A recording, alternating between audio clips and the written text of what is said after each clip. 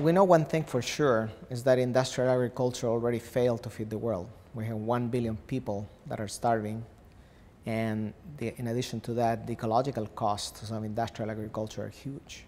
It produces one third of the uh, greenhouse gases, produces contamination of the environment with pesticides and fertilizers that are causing all kinds of environmental problems and health problems uh, worldwide. It is calculated that just in the United States, the environmental costs and health costs of agriculture, modern agriculture, is $4 billion per year.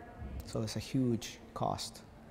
And there, there's, no altern- there's no other alternative but agroecology in order to come up with, uh, with an alternative to produce enough food that is going to be healthy but is going to be accessible to. So today we know that peasants, which are about um, 350 million farms worldwide, feed 50% of the world population.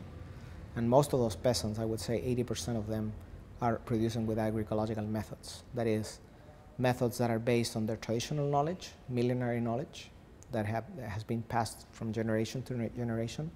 And some of them have been influenced by NGOs and other organizations that have been working with agroecology uh, to optimize the productivity of small farming systems throughout the world. And obviously, we know that the problem of feeding the world doesn't have anything to do with production. So uh, I agree that we can enhance productivity and we can feed the world with agroecological methods.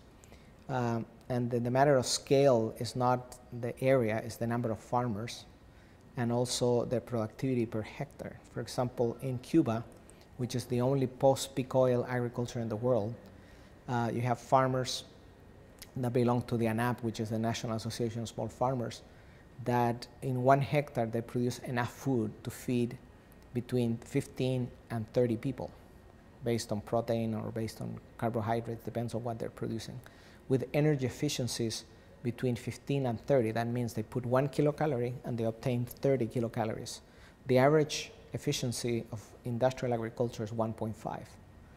So we're talking about very efficient, very biodiverse, and also very resilient systems because what's happening is that we're seeing that everywhere studies have been done on the impacts of climatic events, extreme climatic events on productivity, monocultures are the first to go polyculture systems, agroforestry systems, diversified farming systems that small farmers have are the ones that are resilient. They're the ones that resist the impact and the ones that recover faster from the impact. So industrial agriculture is not going to only be limited by, by the ecological problems that it's causing or by the, the cost of, uh, of the petroleum, but also by not having ecological diversity that provides them, them with resiliency, they're going to collapse with climate change. So what we need is an alternative, which is agroecology, and that agroecological system is already being tested by thousands of farmers. The Via Campesina actually, which is the largest peasant organization in the world, already adopted agroecology as their scientific technological approach to productivity within their food sovereignty framework.